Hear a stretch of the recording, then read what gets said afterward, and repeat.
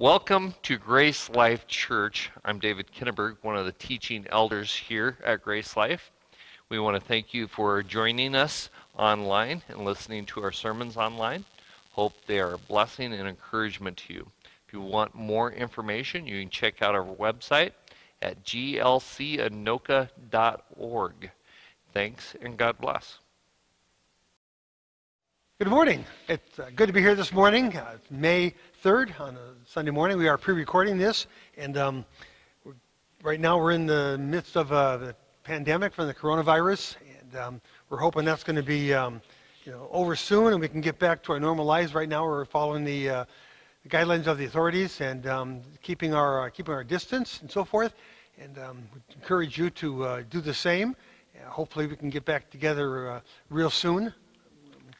Encourage you to uh, try to stay in touch with uh, one another in our church family through uh, social media, uh, telephone, and so forth. And um, hope we can get, get back together real soon. Um, Randy did inform me that we're doing very well with the finances and offerings, so we appreciate that. Then you can uh, mail your offering to the office here at, at Grace Life Church. So, good to have you here on tuning in us this morning. We're glad to have Steve McCombs uh, preaching again this morning, uh, continuing his series on, on the, uh, the names of God, the names that are in the, in the Hebrew and how they translate to the English and how they appear and uh, the, the impact they have in Scripture. So, Steve, come on up at this time.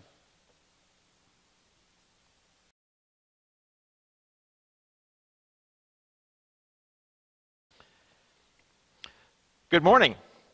Today we're continuing our series on Old Testament Hebrew names for God names that reveal him in some aspect of his character in dealings with man. Thus far, we have examined his three primary names Elohim, translated God, Yahweh, translated Jehovah, and appearing in our Bibles as Lord with all capital letters, and Adonai, translated Lord with just the L capitalized.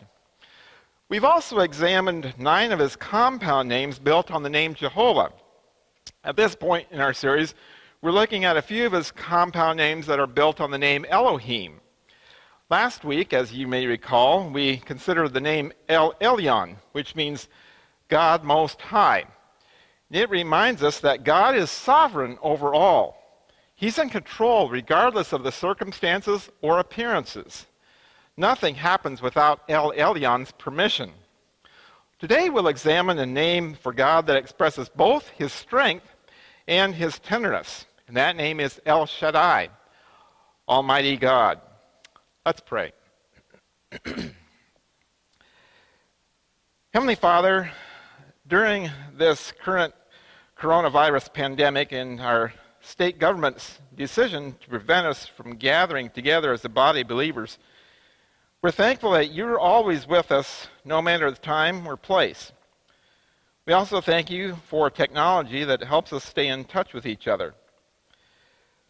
Lord, now as we prepare our hearts to spend time in your word, we pray that you will teach us by your Spirit from your word. For Jesus' sake, amen.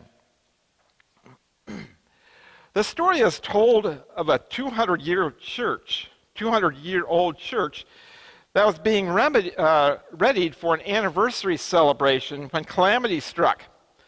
The bell ringer was called out of town. The sexton immediately advertised for another. When the replacement arrived, the sexton took him to the steps leading to the bell tower, some 150 feet above them. Round and round they went, huffing and puffing all the way. And just as they reached the landing, the bell ringer tripped and fell face first into the biggest bell of all. Bong! Dazed by the blow, the bell ringer stumbled backward onto the landing. The railing broke loose, though, and he fell to the ground. Miraculously, he was unhurt, only stunned. But the sexton thought best to call an ambulance. The doctor arrived and asked, Do you know this man's name? No, the sexton replied, but his face sure rings a bell. one of the many names for God, El Shaddai, is better known to most Christians from contemporary music than from Scripture itself. Does Amy Grant's rendition of the song El Shaddai ring a bell for you? The lyrics of this popular song from the 1980s tell of various aspects of God's character as well as a few of his names. The name we're focusing on today is El Shaddai, God Almighty. Two divine qualities are implied in the name El Shaddai. God is both the strong one who is able to deliver and the tender one who nourishes and satisfies. Unfortunately, the English word Almighty tends to communicate only the aspects of God's strength and power. Some feel that the term all sufficient might be a better translation. The late Lewis Sperry Chafer, who is founding president of Dallas Theological Seminary, notes that in the Old Testament, the, ter- the title Almighty God, or El Shaddai, conveys the truth that God sustains his people. The term indicates more than that God is a God of strength, that he is, but the title includes the impartation of his strength as a child draws succor from his mother's breast. The word shad, as combined in El Shaddai, means breast and supports the conceptions of a mother's nourishment imparted to her child. Well, that name, El, uh, the name Shaddai by itself occurs 41 times in the Old Testament, 29 times in Job alone. And it's translated Almighty in most English Bibles. The compound name El Shaddai occurs seven times, five times in Genesis, once in Exodus, and once in Ezekiel. In, in our virtual time together today, we're going to look at how three individuals came face to face with El Shaddai when they were at the end of their ropes. All three were empty in some way before they discovered that God alone is enough. Abraham is the first one we're looking at. Abraham, as we see, was burdened the first sentence, or the first instance of El Shaddai is found in Genesis 17, verse 1. And there we read, When Abram was 99 years old, the Lord appeared to him and said, I am Almighty God, or El Shaddai. Walk before me and be blameless. He continues in verses 2 through 5. And I will make my covenant between you and me, between me and you, and will multiply you exceedingly. Then Abram fell on his face, and God talked with him, saying, As for me, behold, my covenant is with you, and you shall be the, a father of many nations. No longer shall your name be called Abram, but your name shall be Abraham, for I have made you a father of many nations. By the way, later in this chapter, God also changed Abraham's wife's name from Sarai to Sarah. Notice this, if you will, in verses 15 and 16. Then God said to Abram, As for Sarai, your wife, you shall not call her name Sarai, but Sarah shall be her name. And I will bless her and also give you a son by her. Then I will bless her, and she shall be the mother of all nations, of nations. Kings of peoples shall be from her. By the way, that new name Sarah means princess. Well, here in chapter 17, God was repeating his covenant to Abraham that he would be the father of a great nation. God first made the covenant with Abraham, or Abram, when he was 75 years old, as recorded in Genesis 12, 1 through 4. And there we read, Now the Lord had said to Abram, Get out of your country, from your family, and from your father's house, to a land that I will show you. I will make you a great nation. I will bless you and make your name great, and you shall be a blessing. I will bless those who bless you, and I will curse him who curses you. And in you all the families of the earth shall be blessed. so Abram departed as the Lord had spoken to him, and Lot went with him. And Abram was 75 years old when he departed from Haran. Now, 75 might seem old to us, but in Abraham, Abram's day, it wasn't so bad. Abram's own father, uh, Terah, lived 205 years, and Abram lived 175 years. So at 75, he was passing his prime, but he wasn't in the grave just yet. Ten years later, we get to chapter 16 and the story of Hagar, Abram, and Sarah. of, and Abram and Sarah, Sarai had been waiting 10 years for a child, and they'd gotten nowhere. So they tried to bring about the fulfillment of their promise in their own strength. But it wasn't God's timing, and it wasn't God's way. Have you ever had to wait 10 years for something? How about the promise? How about for a promise to be fulfilled? How frustrating, how difficult it must have been for Abram and Sarai to wait on this promise from God that long. Most of us would have given up long before this time. A bit of a lost cause, don't you think? But wait, there's more. Now, in chapter 17, Abram is 99 years old. A further 14 years have passed with still no action. Have you ever had to wait 24 years for something? Longing it for happen? Eager looking around every corner for it? Some of you aren't even 24 years old yet. What would it have been like? Can you imagine it? 24 Father's Days had passed without any children.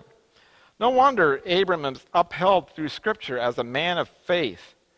At age 99, 24 years after the first promise was made, God appeared to Abram.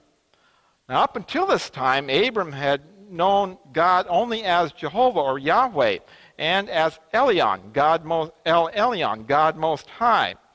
But now God reveals another side to his character. He says, I am El Shaddai. And the word Shaddai has an interesting background.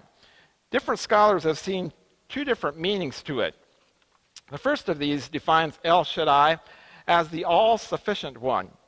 The all sufficient one. And this view sees the word coming from the Hebrew root shad. And this is the word for a woman's breast or bosom, as we noted earlier from Lewis Sperry Chafer's quote. And in this context, the name of God speaks of his all sufficiency. You know, a new baby finds a safe and secure place at his or her mother's breast.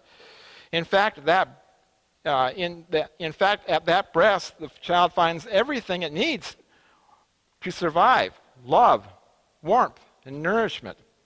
Now, as children, when we were afraid, we could run to our mother and find safety and protection in her arms. And just as this is the case for a new baby, we find that God is all sufficient for us in every circumstance we find ourselves in. In Genesis 17:1, when God appeared to Abram, he said, "I am El Shaddai, your all sufficiency. Walk before me and be blameless." What was the major stumbling block for Abraham walking before God and being blameless? What was the major obstacle to Abraham having anything at all to do with God? Well, I think it was the fact that 24 years earlier, a promise had been made, and that promise had not yet been fulfilled. What was going on? Was, was he being taken for a ride, ride here? Could this God he had known as Jehovah still be trusted? I don't know whether these thoughts were going through Abram's mind, but I do know that both Abram and Sarai believed that they had truly missed the boat. In verse 17, we see that Abraham was laughing in disbelief that God was still condemning that he should bear a child. We read there, Then Abraham fell on his face and laughed, and said in his heart, Shall a child be born to a man who is 100 years old? And shall Sarah, who is 90 years old bear a child? And then in Genesis 18, verse 12, Sarah also had a bit of the giggles to herself. You notice what we're told there. Uh, Therefore, Sarah laughed within herself, saying, After I have grown old, shall I have pleasure, my Lord being old also? So it was in this context that God revealed himself as the all sufficient one. He was saying, don't worry about what you have or haven't yet received. I am all you need, and I will supply you with all you need. Are you doubting that God is able to supply you with all you need? Perhaps for some of you, things are rather things are looking rather hopeless these days. Many of you are, are old and barren like Abraham and Sarah, maybe not in a childbearing sense, but in a human capability sense. You know, in the current midst of our government mandated economic shutdown, some of you perhaps have exhausted all your resources and you're at your wits' end how you're going to make it through the coming weeks and months ahead if things don't return to normalcy. If places of business don't up, open up back soon. Don't, don't open back up soon. Do you feel like that? If so, I encourage you to take some time this week to know God as El Shaddai, the all sufficient one. I know personally that's a hard thing to do. When I was a student at Dallas Seminary back in the early 1980s, God provided for our financial needs in ways that were clearly beyond us, ways that only He could do. He provided a job for me loading package trucks at UPS that provided health insurance for my wife Debbie to give birth to our two sons. Also, extra hours between fall and spring semesters as I helped other truck drivers deliver packages in a few weeks prior to Christmas. And one year, as the fall semester was drawing to a close, I was a $1,000 short of the tuition cost for the approaching spring semester. Now, back then, that was a much greater deficit than it is today. Now, as I went to my seminary mailbox one day, I opened it up to find an envelope with a check from an anonymous donor to the seminary, donor to the seminary, and it was for me for the exact amount that I needed to pay for the spring tuition. To day, this day, I don't know who sent that check to me. We're not, uh, we hadn't told anybody else about uh, the financial shortage I was facing. Well, obviously, God proved himself to Debbie and me as El Shaddai, the all sufficient one that day. Beyond that, he's also provided, he also provided us for us so that I could graduate debt free in 1985. He's provided for us in many other ways since then, of course, but that particular one really stands out to me. Well, so let's seek him and get to know him as the one who is all sufficient. When Abraham realized his emptiness, he rejoiced that God was enough. And that literally changed the trajectory of his life. It's important to note here that uh, to experience God's sufficiency as our all sufficient El Shaddai, we must realize our own insufficiency. To experience God's fullness as He has revealed Himself to us through His names, we must first empty ourselves that is, make ourselves as empty vessels which God, El Shaddai, can then fill and use. Well, the second meaning people see in the name El Shaddai is the meaning of God as the Almighty One. People who hold this view see the word as coming from the Hebrew root shaddad, which means to overpower. And in a similar way to the meaning of all sufficient one, the Almighty One gives confidence to Abraham that God is all powerful and he's able to bring about those things even which we would see are impossible. And this designation communicates to us that God has infinite power. He created this world and everything in it. He has the power over the wind and the waves.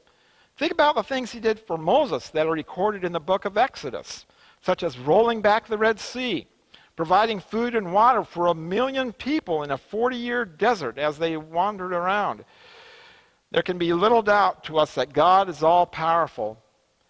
But for Abraham, who had a limited knowledge of this God, this name must have held such deep significance.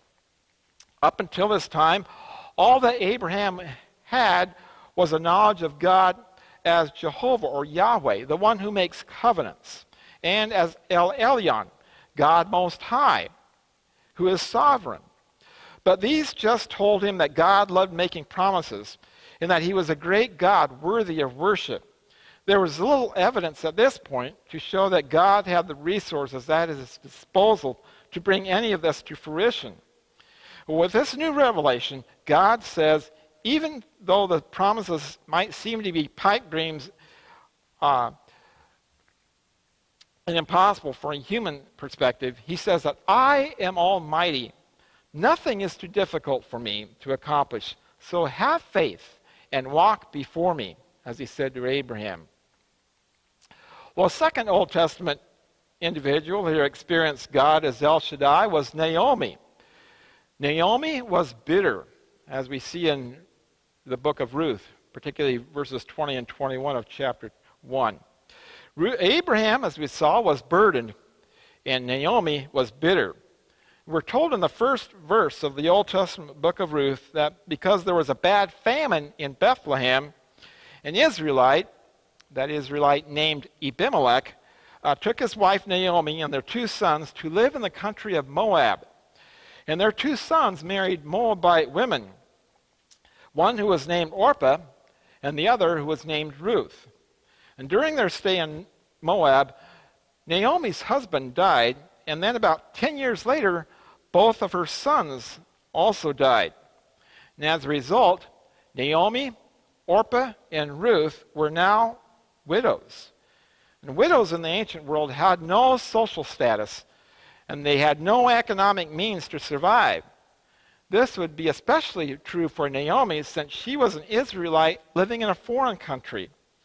And Naomi told her, her uh, two daughters in law to leave her and go back to their homes. Orpah decided to leave, but Ruth determined to stay with Naomi. Both of them made the long journey back to Bethlehem. And that's where Naomi was recognized by some of the women. And they asked out loud in verse 19, Is this Naomi? My guess is that she probably looked quite a bit different from the days she left. Her face was probably withered, her shoulders slumped, and her eyes were no doubt filled with the pain of losing a husband and two sons. Notice how Naomi responded to their question in verses 20 and 21 of Ruth chapter 1. But she said to them, Do not call me Naomi, call me Mara, for the Almighty has dealt very bitterly with me. I went out full, and the Lord has brought me home again empty. Why do you call me Naomi, since the Lord has testified against me, and the Almighty, or Shaddai, has afflicted me? That name, Naomi, means pleasant, and Mara means bitter. Naomi recognized that her problems actually came from the Lord, or at least allowed by Him to, to uh, mold her uh, character. Naomi recognized her problems came from the Lord, and four times in these two verses, she attributed her affliction to the Almighty. Number one, the Almighty has made my life very bitter, she noted. And the Lord, secondly, had brought me back empty. Thirdly, the Lord has afflicted me. And fourth conclusion she reached, the Almighty has brought misfortune upon me. And this is similar to another woman's response when she, uh, namely Hannah, was not able to have children. We read about her in 1 Samuel chapter 1. And the, the phrase, and the Lord had closed her womb, is repeated in 1 Samuel 1. And this is one of the hardest lessons we ever learn. Some of our problems are actually given to us by the Lord Himself. It is God, you see, who is behind some of life's circumstances. We'd most of the time rather blame it on Satan or on someone else. But it is God who allows good things and God who allows bad things to come into our lives. You see, God is in charge, and as such, we should remember the message of Ecclesiastes chapter 7:14, which says, "In the day of prosperity be joyful, and in the day of adversity consider, God has made the one as well as the other, so that man may not find out anything that will be after him." Some of you had to deal with the loss uh, the bewildering loss of a spouse, perhaps, or a child, or a parent. Now, I cannot identify with your pain except in the case of a, uh, the loss of a parent, but God can. Perhaps you feel like Naomi did when she wanted to, her name changed to Mara because you feel marred by what has happened to you. Now, as painful as what your, your experience might be, don't lose sight of the fact that Naomi's emptiness is eventually allowed her to adore God Almighty. She was bitter, but she got better when she was empty. Because be, when she was empty, she came to the place of knowing that God was enough. Naomi was willing to entrust her pain and bitterness to El Shaddai. She believed that he would come through for her, even if all of her questions remained unanswered. Somehow, God, you see, was providentially weaving his purposes through her problems and her pain. In the midst of her bitterness, Naomi continued to walk with God, even when her two sons married Moabites. She worshiped the true God when the entire culture bowed down to Baal, the pagan god of the Canaanites. She made the most of her situation by teaching Ruth, her daughter in law, about God. She had the courage to return to her land and later boldly told Ruth to make a marriage proposal to Boaz. And she launched her uh, matchmaking agreement, but she also uh, learned, she also knew how to be patient wait on the Lord. As you notice, she said in Ruth chapter 3, verse 18, she wrote, she said, Sit still, my daughter, until you know how the matter will turn out. For the man will not rest until he has concluded the matter this day. Ruth submitted to God's sovereign plan and eventually had the joy of nurturing a baby boy named Obed, who, who became the grandfather of King David. Imagine that scene from Ruth 4, verse 16. We're told that Naomi took the child, placed him on her lap, and became his nanny. You know, friends, that's a picture of how El Shaddai can meet us at our point of bitterness and make us better. He's the all powerful God who nourishes and satisfies his children, but not until they admit their emptiness before him. You see, friends, it's when we're empty that we can see that God is enough. Well, a second Old Testament character came to know God, or I guess it would be the third one now, in addition to Abraham and Ruth. Name know God as El Shaddai was Job. And of course, if you're familiar with the book of Job, you know that he experienced many sufferings. Job was broken. You know, sometimes we're burdened, as Abraham was, because we think God isn't going to come through for us. Other times we're bitter, like Naomi was, because things have not worked out like we want. On occasion, we're completely broken, as Job was, because everything has been taken from us. That's what happened to Job. It's rather interesting that of the 48 occurrences of the name Shaddai in the Old Testament, 31 of them are in the book of Job. This book begins very simply, but with incredible speed as Job's brokenness comes about very quickly. The opening verses to the book of Job serve as an introduction, and they give us three truths about Job. First of all, he was righteous. We see this in verse 1. We're told there in Job chapter 1, verse 1 uh, This man was blameless and upright. He feared God and shunned evil. Secondly, he was rich. Notice in verses 2 and 3, we read that he had seven sons and three daughters, and he owned 7,000 sheep, 3,000 camels, 500 yoke of oxen, and 500 donkeys, and had a large number of servants. He was the greatest man among all the people of the East. And he was religious. Notice in verse 5 it says that Job sacrificed a burnt offering for each of his children. And we read that this was his regular custom. Well, by the world standards, Job was successful. And by God's standards, he was a spiritual leader, a spiritual man. And then Satan received God's permission to put Job to the test. And Job's brokenness came as a result of four big bombshells, as it were. First, his livestock was stolen, and his servants were killed. Secondly, a fire from God, in a sense, destroyed his sheep. Thirdly, his camels were confiscated. The fourth messenger of misfortune followed quickly on the heels of the other three when all of his children were killed. And in the space of a few minutes, Job lost everything that was dear to him. It was bad, and, and then it got worse, and then it got terrible, and then it became unbearable. This all left him broken. And then his health was taken from him as well.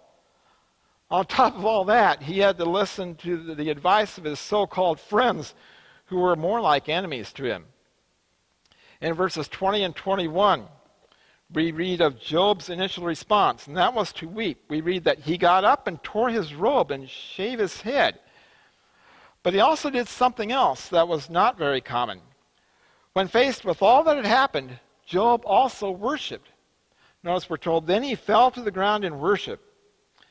We, a little later we read that the Lord, he said, the Lord gave and the Lord has taken away. May the name of the Lord be praised. Job's emptiness caused him to exclaim that God is enough. And in the midst of his pain, he was able to praise God. Job did two things he wept and he worshiped. But he also did not do something, as we're told in verse 22. In all this, Job did not sin by charging God with wrongdoing. He refused to say that God was wrong. And that's a good corrective for us. After leaving chapter 1, Job entered another test when he was afflicted with sores and his body began to break down. He received another blow and was broken further when his wife urged him to bail on God, in a sense. Look at verse 9 of chapter 2. She said, Are you still holding on to your integrity? Curse God and die. And Job's response in verse 10 shows that he understood the character of God. He said, Should we accept good from God and not adversity? You know, there's a good reason why Shaddai, translated Almighty, is used more in the book of Job than any other book. As we've already seen, when we're most empty, God is most evident. It's been said that when we have nothing left but God, we discover that God is enough. Let's uh, briefly survey how Shaddai is referred, referenced several times in the remainder of this book of Job. Notice, if you will, in Job 5 17, says, Blessed is the man whom God corrects, so do not despise the discipline of the Almighty, or Shaddai. Job 6 4, the, arm, the arrows of the Almighty, or Shaddai, are in me. My spirit drinks in their poison. God's terrors are marshaled against me. Job 6:14 To him as, who is afflicted kindness should be shown by his friend even though he forsakes the fear of the almighty Shaddai. In this sense Job was doing a pushback as he wondered why his friends were so tough on him and so quick to judge. Have you ever noticed when someone's down others tend to pile on? Well, in Job 13:3, Job tells his buddies that he's going to Shaddai. He's going directly to God with his concerns, and that he doesn't need them to needlessly needle him. He says, But I desire to speak to the Almighty and to argue my case with God. And in Job 22 26, one of his friends seems to finally get it. He said, Surely you will find delight in the Almighty. Job wanted desperately to hear from God, and so he cried out in Job 31 35, Oh, that I had one to hear me. Here is my mark. Oh, that the Almighty or Shaddai would answer me, that my prosecutor had written a book. Job begged God to answer his questions. He desperately wanted to know why all these bad things were happening to him. God answered him, but the answer was not what Job expected. Instead of giving a direct response, uh, God gave his longest speech in the entire Bible in four chapters, Job's chapters 38 through 41. He asked Job questions like, Where were you when I laid the foundations of the earth? Job 38 4. And in Job 39, verse 19, Have you given the horse his strength? Have you clothed his neck with thunder? You know, sometimes we blast away when at God when we're broken, don't we? When we come with that kind of attitude, God asks the same question to us that he asked of Job in uh, chapter 40, verse 8. Would you discredit my justice? Would you condemn me to justify yourself? Well, after Job got a good theology lesson, he broke down, if you notice, in chapter 42. And he said in verses 3 and 5 Surely I spoke of things I did not understand, things too wonderful for me to know. My ears had heard of you, but now my eyes have seen you. Therefore I repent in dust and ashes. Friends, God is in the business of fixing broken people. He is enough when we don't have enough. El Shaddai is more than adequate when we feel totally inadequate. Ultimately, the only answer God gave to Job was himself. It was as if El Shaddai said to him, Job, I'm your answer. Learn who I am. When you know me, you'll know how to handle anything in life. You see, Job wasn't asked to trust a plan, but a person. A personal God who was in control ultimately and knows what is best for us. You know, friends, that's the first rule of the Christian life. He is God, and we are not. The main point of the book of Job is that life is unfair, that bad things do happen. The one great biblical purpose for trials, though, is to draw us near to God. So the question is not, why did this happen to me? The deeper question is, now that this has happened, will I remain loyal to God? You know, the most important battles take place inside of us. When we're burdened and bitter and broken, what will we do? God's answer, answer to Job is instructive for you and me. He basically challenged Job in the only thing he could control his response. You see, blaming God for his brokenness got him nowhere. He needed to decide how he was going to respond honorably. What was he going to do now? Was he going to shake his fist at God? Was he going to get better? Or was he going to get, was he going to get better? His response was his responsibility.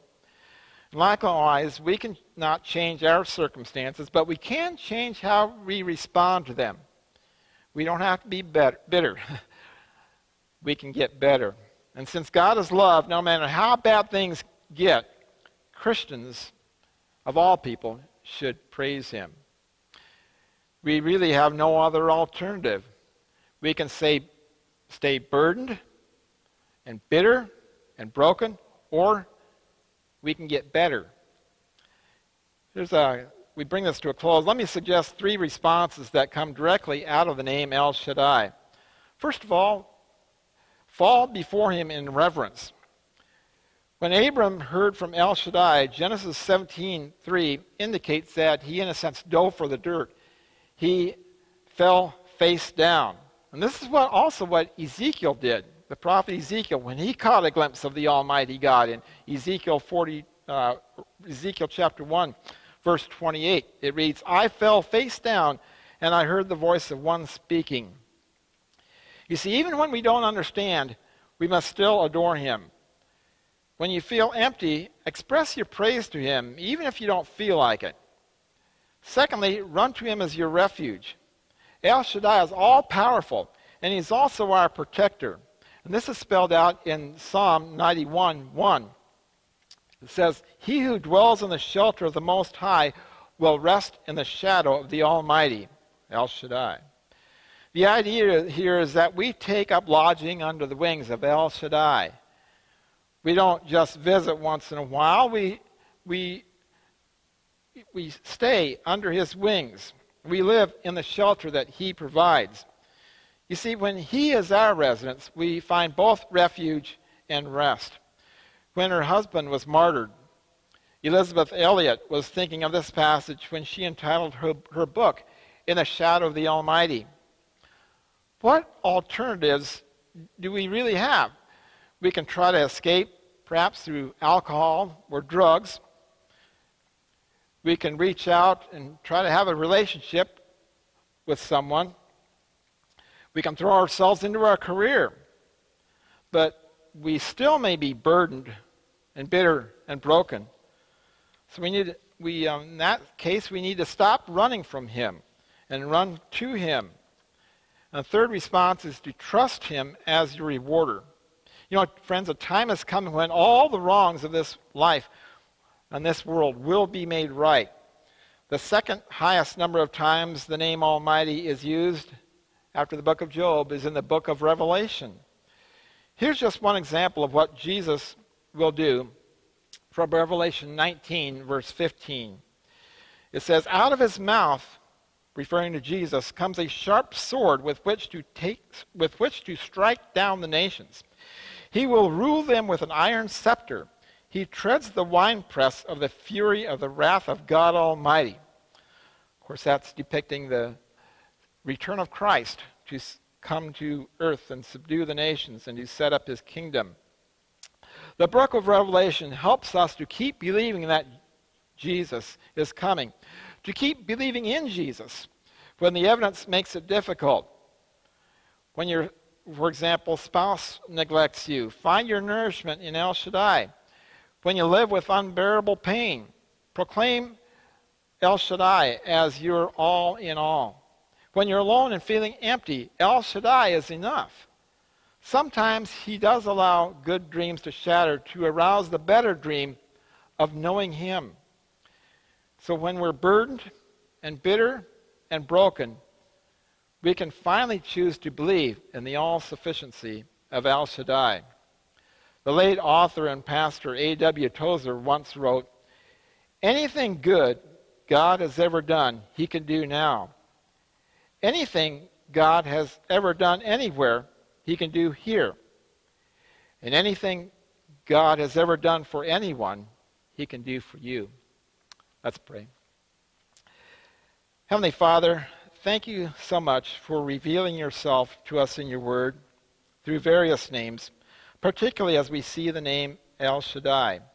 We thank you, Father God, that you are both the Almighty One, the Almighty God, and our all sufficiency. That you're sufficient for all of life's problems, for us to get through them. And we thank you that you are using things in our life, circumstances, to conform us to the image of your Son. For some of us, perhaps, who don't know Christ as Savior, you're drawing them to come to a point of where they trust in Jesus Christ for forgiveness and the gift of eternal life. And I pray that if anyone is in that category, Father, that is watching today, that they might come to you and look to Jesus for forgiveness and receive Christ as their Savior from the guilt and penalty of sin. And I pray for those of us who know Christ, Father, that you would just help us to find our shelter under your wings, to find our rest in you.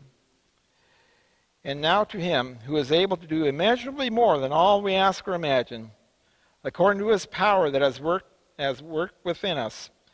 To him be glory in the church and in Christ Jesus throughout all generations, forever and ever.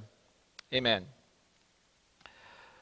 I invite you to click onto the links below for a few music videos that relate in, in subject matter to God as El Shaddai. I believe these will help enhance your worship experience today. Next week, Dave Kinneberg will be ministering to us as he resumes his series on the Old Testament book of Daniel, and we're looking forward to that. Have a blessed week, and keep looking up. Christ is coming.